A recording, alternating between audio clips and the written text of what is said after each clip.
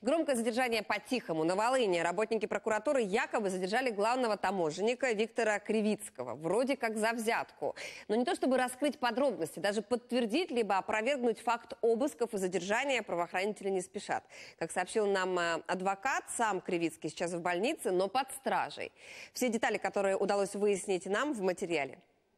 Волынская таможня, утро, обычный рабочий день, но начальника на месте нет. Начальника митниці немає в даний час. Немає з яких причин. Не отвечают где начальники и уполномоченные люди, поскольку официально об этом не сообщили даже им.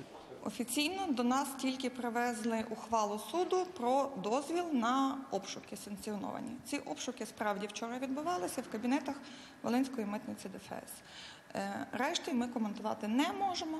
Пытаемся узнать хоть что-то у тех, кто вчера проводил обыски на таможне. Местные интернет-сайты пишут, что обыскивали не только кабинеты руководства, но и квартиру Кривицкого в Ковеле. Двухкомнатную, съемную. В областной прокуратуре информацию об обысках не подтверждают и не опровергают. Молчат и в других силовых ведомствах. В деле сплошные вопросы, например, почему добро на обыски давал Закарпатский, а не Волынский суд, и было ли достаточно оснований для их проведения. Інкримінується йому отримання неправомірної вигоди у вигляді 50 доларів та 50 євро. По информации из источников в правоохранительных органах, речь идет о меченных купюрах. Они были в блокноте вместе с еще несколькими сотнями в валюте.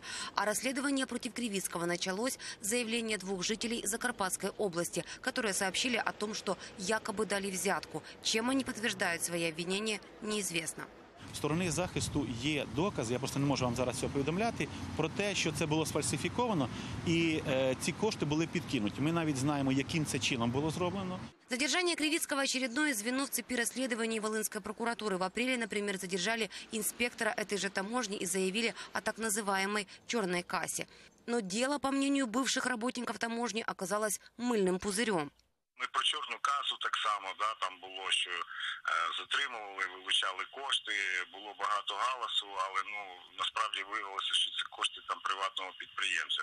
Срок держания по страже Кривицкого заканчивается завтра, и прокуратура должна либо ходатайствовать об избрании ему меры пресечения и обосновать это, либо начальник Волынской таможни выйдет из-под стражи.